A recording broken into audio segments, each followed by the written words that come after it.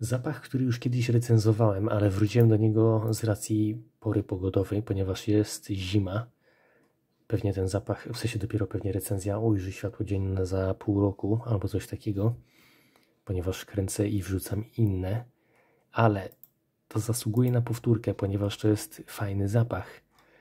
E, stworzony w 2004 roku przez Maurika Rukela i Norberta Bijot, to się chyba czy, tak czyta, zapach do pracy na co dzień, miła odmiana dla, dla fanów Hugo Bossa Boss Bottle. Chociaż ludzie w ogóle go nie przyrównują, bo to w sensie to są te same klimaty jakby. Oba są, oba są na co dzień, idealnie dostosowane do warunków pogodowych panujących w Europie. Hugo Boss, Boss Bottle, no niemiecki, e, dostosowany do chłodniejszych pór pogodowych, czyli prawie zawsze, poza dwoma miesiącami. Trochę cięższy niż y, Boss Bottle, trochę słodszy, ale według mnie lepsza odmiana, w sensie fajniejszy po prostu jest. Boss Bottle jest oklepany. Ludzie porównują Bogarta do Amena, ale Pure Havan, z tego co pamiętam. Miałem okazję tylko raz wąchać Pure Havan ostatnio, ale nie wiem, czy on był zepsuty, czy nie.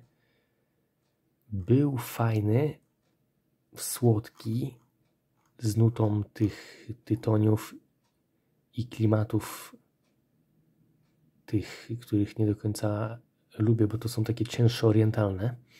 Ten natomiast nie jest ciężki, ani nie jest aż tak mocno orientalny, jakby się wydawać mogło.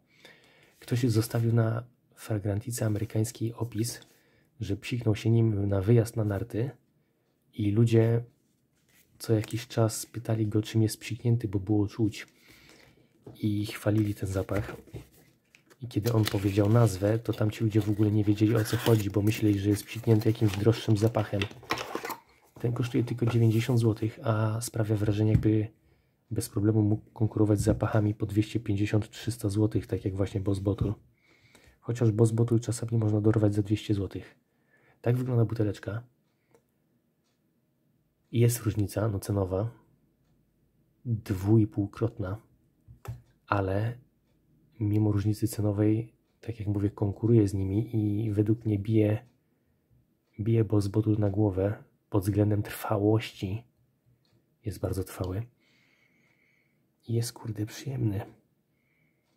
Jeżeli lubisz klimaty Boss i masz około 40 roku życia, bo według mnie w takie się plasuje, to jak najbardziej będzie to strzał w dziesiątkę. Jak, jak go testowałeś, to zostaw komentarz i napisz, co o nim sądzisz.